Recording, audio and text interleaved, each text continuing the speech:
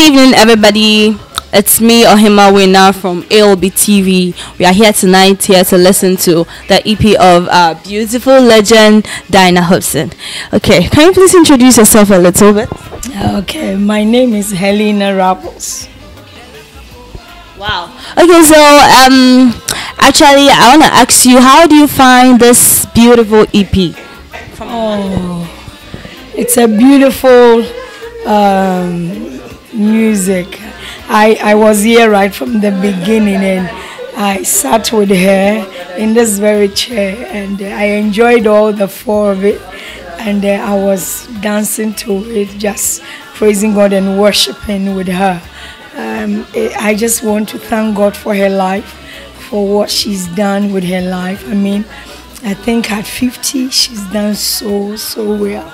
She's done it all. That's what I want to say. I want to congratulate her on this very album.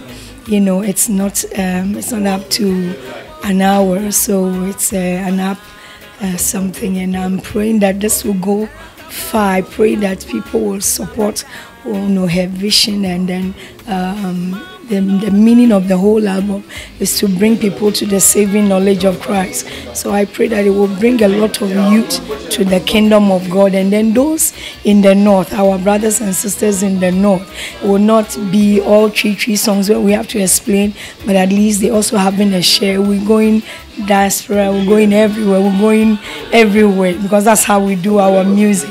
We always want everybody to um, have a share, everybody to enjoy what we are doing. And so, on that note, we say kudos to Auntie Diana and we bless God and we pray that God will give her a long life. She will live to be a hundred. At 50, look at how she looks like. So, by the time she turns 100, mm, we don't know what to say. So, we bless God for her life, her husband, her family her music, GH Music. God bless all of you. And those of you who are covering this, may the Lord bless you. So you do more and more of what you know how to do. Thank you so much. Thank you so for tonight. Thank you so much.